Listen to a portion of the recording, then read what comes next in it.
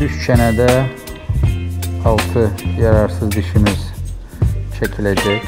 Çekildikten sonra All 16 konsepsiyası üzere implantlarımız yerleştirilecek derhal ve üstlerine hemen yükleme için ölçüler alınacak ve 24 saat ərzində geçici dişler hazırlanacak.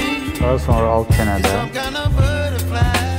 iki endodontik olarak yararsız dişimiz. Onlar da çekildikten sonra ve bir uzun müddət dişsiz qalan bölgədə 3 e, ədəd implantımız dərhal yerləşdirilmiş olacaq və 4-6 ay sonrasında da əsas qapaqlar e, yekunlaşmış olacaq.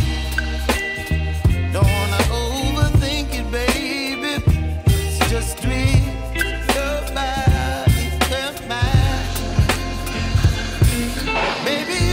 got me fire. You're giving me wind and rain. Some kind of butterfly. Baby, you me midnight. You whip up my